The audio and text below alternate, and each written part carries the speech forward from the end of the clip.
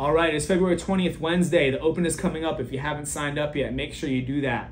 We've got two parts of today's workout. First part is going to be a continuation off of last week's. Last week we had a 10 minute EMOM where we challenge you guys to choose a jump rope variation that was challenging for you. It's going to be the same idea. Today we're doing it 12 minutes. Those of you guys that, that felt like your calves were getting blown up, you might have been a little too efficient in whatever jump rope exercise that you chose last week.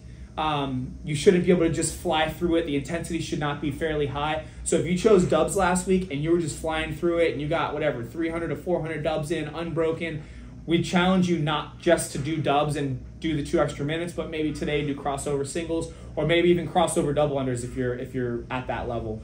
Um, part B of today's workout is pretty straightforward. We're gonna look to get your heart rate up and then lift lift a heavy bar.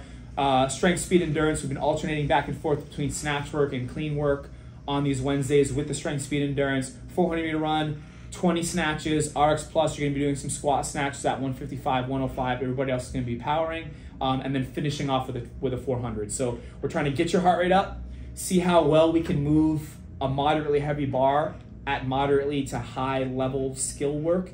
Um, and then sell out, you know, chances are your heart rate's going to have dropped a little bit after your 20th snatch. So You're going to really be able to put the uh, you know the gas pedal on um, for your last 400. So finish on a high note.